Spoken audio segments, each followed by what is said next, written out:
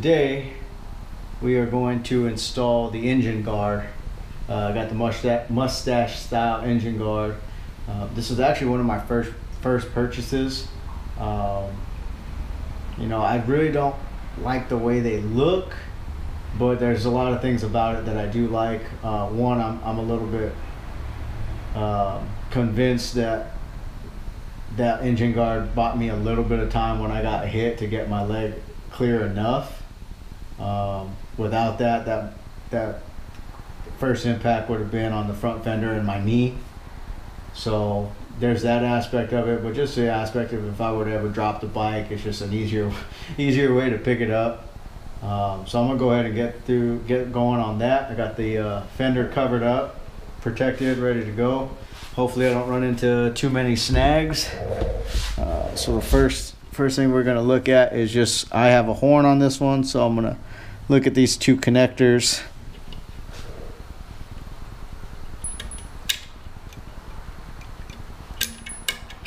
Just kind of move those out of the way.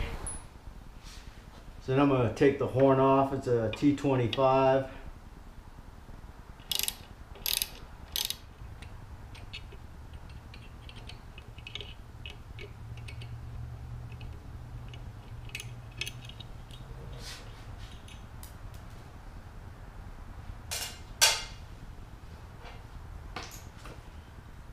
And that's the horn.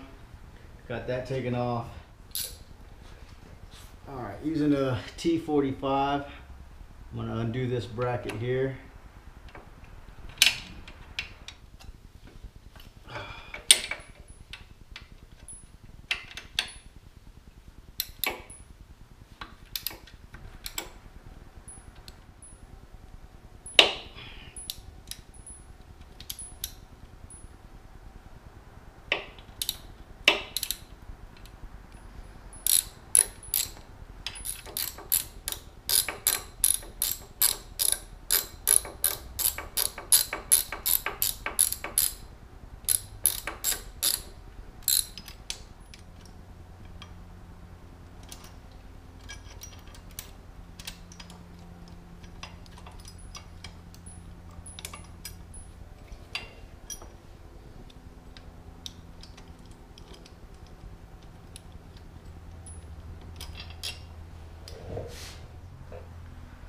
So I'm keeping all the padding and everything on while I try and do this. Ideally, you know, you'd have a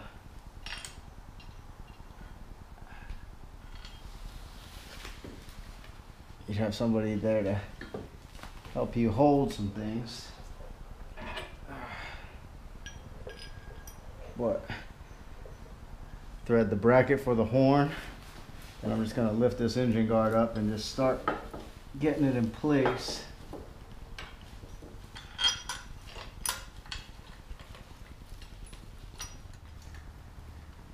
Now as I'm hand tightening it, I'm just kind of doing a five to 10 revolutions on one and then switching over to the other one just so it raises up evenly and doesn't put this in a bind.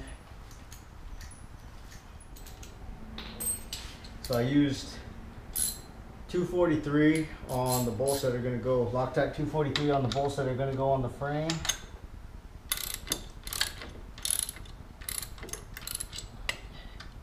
And I'll use 242 just on the little screws that go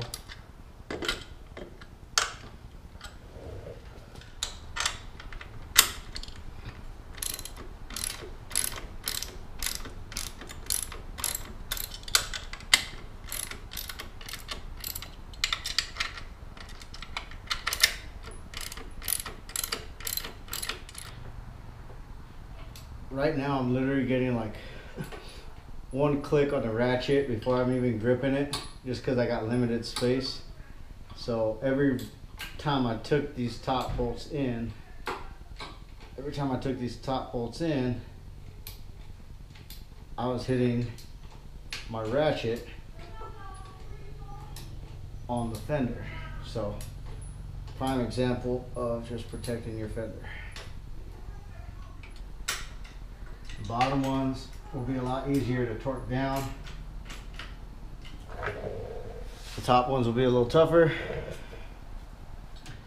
So I actually just filmed this whole thing of me torquing all these down, but you're torquing it to 25 to 35 foot pounds. Uh, clearance is pretty limited, but uh, we got it done. The bottom's pretty easy, but it's bolted to the frame nice and hard, so we'll uh, go ahead and put that horn back on and we're good to go. All right. Using uh, just some 242 Loctite. Try and get this hand started. I am interested in getting that louder horn. Uh, I know Harley sells one, and I've seen a couple other places that do as well. Any of you guys have any uh, thoughts on that? Be sure to let me know. Put them in the uh, comment section because this one's decently loud, but I kind of want an attention getter. You know, like a really like if I honk at somebody, I want them to really be like, "Holy shit! What the hell is that?" And then I cruise by and let them know that they messed up. Just snug, uh, letting the Loctite do its thing, and now we'll hook the horn back up. Make sure we uh, got it right.